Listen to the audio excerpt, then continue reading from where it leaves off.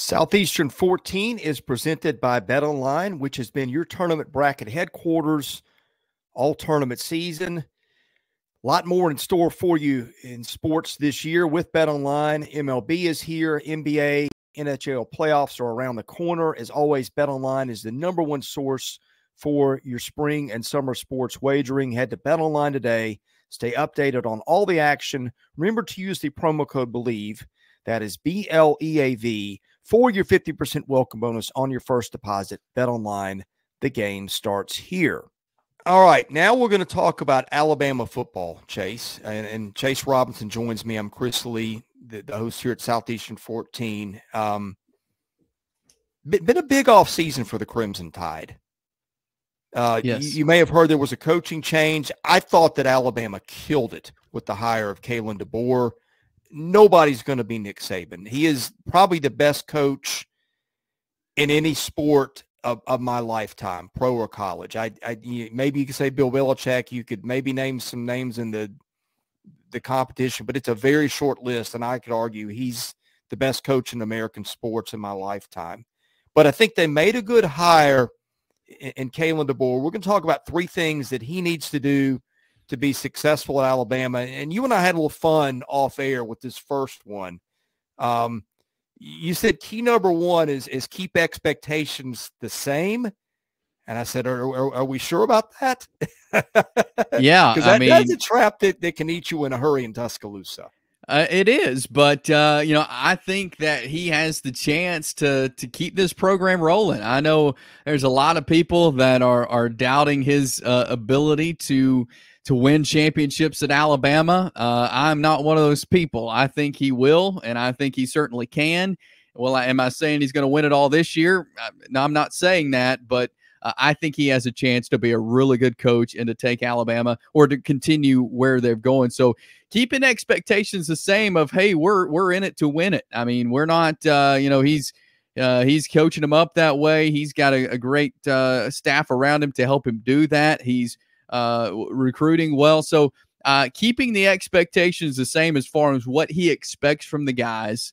Uh, he's uh, kept a lot of the same programs that Nick Saban ran uh, within the team, the the fourth quarter program, and some of those other uh, things. And he's pushing the guys similar to the way Nick Saban did. Now he's doing it his own way. You know, he, he's pumping out music at practice and having a good time. You know, and, and all that things that you may not have seen uh, Nick Saban do with his teams, but um, as long as Kalen DeBoer, you know, Alabama football, the folks uh, here in the state of Alabama uh, love their football, and uh, there's going to be a lot of expectations on Kalen DeBoer.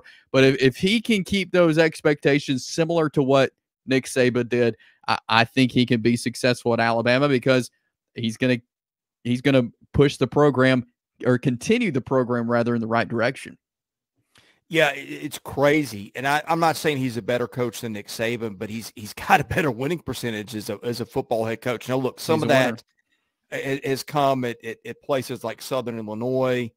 Um, excuse me, uh, you know, he's been at Fresno State. He won some games there. He, some of these are NI, NAIA, but still, winners win, and I, I think one way to find a winner is find a guy who's won in the past. He's certainly done that, and certainly they were so much fun to watch at Washington. Now, now, what is a fair expectation? Because on one hand, you've got Alabama expectations. You've also got the, the ground that has shifted. Uh, it, it, wasn't just this with the, the 14 playoff pencil in Alabama in, in the playoffs like it would have been maybe 10 years ago under right. the same circumstances. Uh, w- what is fair to expect for Kalen DeBoer in Alabama? Yeah, I think they'll be a contender. Um, you know, the, the, whole shape of college football is about to change this year as the playoff expands, uh, and and so I, I think there's just question marks over everybody of, of who can make this 12 team playoff. I think Alabama's a playoff team this year. Uh, I think they'll make the 12 team playoff. Uh, again, there's folks out there who who don't think that I I do. I think they'll be a playoff team uh, this year, as will several other SEC teams. Uh, but you know, I, I, think you start with you know this is the tough SEC schedule that he has in his first year in the conference as a head coach. First SEC game against Georgia Bulldogs, uh, that's tough. And so um, you know, compete in these games. Uh, you know, this may not be an SEC championship team this year in Alabama. It could be, but it it, it could not be. And so, um, you know, I think if he just keeps these guys uh, with a perspective of, hey, we may not be an SEC champion, we may not win it all this year, but we're building towards that. And college football has changed uh, completely. Uh, you and I know that. Everybody watching knows that. And and like you mentioned, it's not the same as it was ten years ago. And so there's everybody else around Alabama is much better. And so uh, it's not going to be the same as it was 10 years ago uh, because the teams are are recruiting at a high level, just like Alabama's done. They're getting guys out of the port. They're they're making their team like Alabama was uh, in their dominant days. You know, in in from 20 2009 to you know 2015 or so. And so um, you know, I, I think um, I think this is a playoff team. You know, I, I think that's kind of what they're aiming towards right now is let's get in the playoffs and see what happens. With it being a 12 team playoff now, anything can happen. And uh, so I think that's going to be uh, kind of beneficial for Kalen DeBoer. Let's get there and let, then let's see what happens. All right. Your, your point number two, uh, make sure the defense complements the offense. Th- that's always tough to do. I think it's tougher to do than ever in this era of college football with tempo and, and all the things that go along with that was even tough for Nick Saban to do in his last year. Uh, yeah, making changes to the offense and all those things. What does that look like this year for Kalen DeBoer? You know, I, I, think the offense is pretty set for Alabama. Like it's it's a good offense. Kalen DeBoer's an offensive mind. We saw what he what he's done. Uh, you know, especially at Washington with the quarterback that he had and the numbers they put up. So I, I think the uh, that we're going to see some fireworks with the Crimson Tide offense. On the defensive side of the ball, there's a lot to be replaced. There's some new guys. They're having to to mix things up a little bit. I love Kane Wommack, the defensive coordinator uh, for mm-hmm. Alabama. He's been the head coach at South Alabama. Uh, they were together at Indiana. DeBoer OC uh, Wommack, DC. And, and so he brought Kane up to Tuscaloosa from Mobile and has kind of turned the defense over to him. And I really like that hire because of the energy that he brings and his style of defense. But I think defense is going to be really important this year because of kind of the offenses that that are in the SEC, some of the quarterbacks that they're going to be facing. Um, you know, you you get I, I think Alabama is one of those teams that you get into a to a shootout, you know, the offense is going to do well, but uh, I think Alabama needs to avoid being in a in an offensive shootout where there's just touchdowns yeah. all over the place. The defense needs to be able to make some stops uh, to help out this offense. Again, I like the way the offense is going, but the defense has, has got to play at a high level as well. And I think, again, he's brought in the staff to do that. He's getting the players to do that. It just, uh, the, the defense has got to be able to complement the offense. If, if that happens, if that's the case, I think it's going to be a really good season for Alabama. All right, point number three, keep recruiting at a high level. Okay, on one hand, Alabama is the best program in the history of college football. Uh, you know, has succeeded at a high level very recently. All the things that make Alabama football great um, are, are, still in place, other than other than Nick Saban. But as we just mentioned, they they made a pretty darn good hire to replace him. At the same time, it's not what it was ten years ago. Uh, you have Georgia coming in with Kirby Smart, eh, whereas Nick Saban, you could just pencil him in for the number one recruiting class, probably, yeah. I don't know, four out of every five years. You, you got Georgia being the team that, that's kind of taking that spot. That's number one. Number two, NIL. Number three, adding Texas and Oklahoma to the league. It, it is in a vacuum not as easy as it is to do a few years ago. At the same time, it is Alabama. Alabama has always been able to recruit no matter who the coach. So there's always going to be that. But what does recruiting at a high level in 2024 and going forward look like, Chase? You know, a lot of people said when Kalen DeBoer was hired at Alabama, one of the big concerns was can he recruit the SEC footprint? Can he recruit Alabama? Can he recruit the Southeast?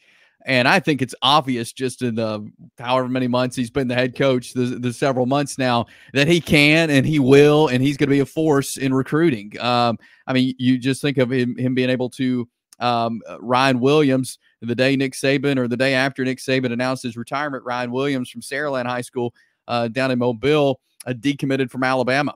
But after a couple of weeks, he recommitted to Alabama because of Kalen DeBoer. So I think that just shows you, and, and that's just one of, of several, uh, that he can recruit at a high level, especially uh, in the Southeast. He's got five or six from the state of Alabama. He's already making great uh, relationships and connections with high school coaches in Alabama, which is big. Alabama has great high school football, has some big time um, schools and, and coaches. So he's already kind of developing relationships and and and making connections with high school coaches, which is going to be key because there's been some coaches uh, who have not been able to do that or have just neglected to do that, and uh, and and it didn't work out well for him. So he started off, uh, especially in the state of Alabama, of making relationships and recruiting it really hard. And I think that's going to really help him uh, in in the long run as he recruits the SEC footprint um, to to have those good relationships. So he has to keep that up